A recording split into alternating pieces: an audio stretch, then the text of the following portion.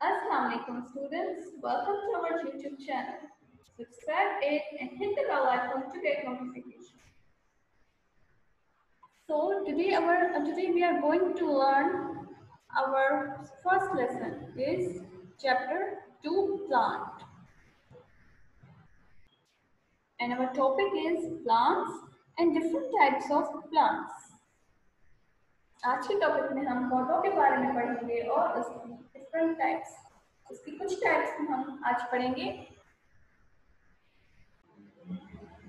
Plants plants are living thing and can found where there is light sunlight air water and soil जैसा कि आप सब लोगों को पता है कि पौधे क्या होते हैं? पौधे जानदार होते हैं, हमारी तरह सांस लेते हैं। और पौधे हमारी बहुत तरह से मदद भी करती हैं और पौधे कहाँ पाए जाते हैं? जहाँ पे हवा, पानी, सूरज की रोशनी और मिट्टी हो। वहाँ पौधे बहुत ही अच्छी तरह नशो नमा पाते हैं। पौधे हमारी बहुत तरह से मदद करते हैं, जैसे कि हमें ऑक्सीजन फराहम करते हैं, हमें फ़ूड प्रोवाइड करते हैं, खाना वगैरह, सब्ज़ियाँ वगैरह, ये सब प्लांट्स में आता है। इसके अलावा हमें शेल्टर भी प्रोवाइड करते हैं। कैसे जैसे कि अगर हम बहुत, अगर कोई लकड़ हारा हो, थक हार के अपना पूरा काम करके थक जाए तो वो एक घने सायेदार दरख्त के नीचे आके लेट के आराम कर सकता है। उसके बाद है types of plants aquatic plants aquatic plants Plants that grow in water are called aquatic plants and can be found in rivers, lakes, ponds and oceans. Aquatic plant किसे कहा जाता है वो पौधे जो कि पानी में पाए जाते हैं उन्हें हम एक्वेटिक प्लांट्स कहते हैं जिनकी एक किस्म है water lily and hydrilla plants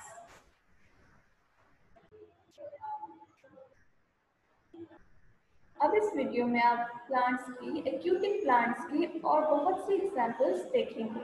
जैसे कि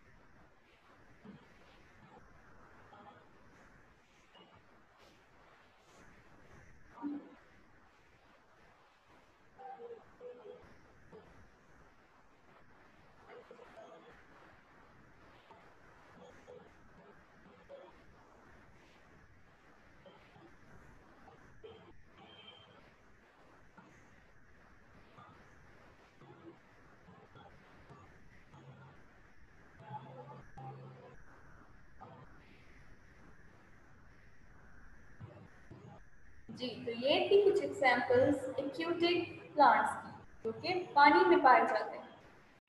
तो देखिए आपने सारे एग्जांपल्स एक्यूटिक प्लांट्स की। ये टॉपिक हमारा यही एंड होता है। तो स्टूडेंट्स इस टॉपिक से रिलेटेड अगर कोई भी आपको इशू हो, कोई बात समझ नहीं आई हो या कोई बात में कोई लाइन में आपको कोई डिफिकल्टी आई हो you can ask me WhatsApp through voice message और वॉइस नोट या text message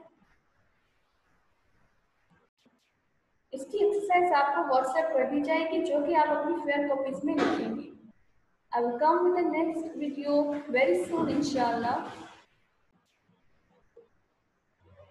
And don't forget to hit the like button. Till then, take good care of yourself and your family. Don't forget to wash your hands properly for at least 20 seconds. Remember me in your prayers. Allah Hafiz.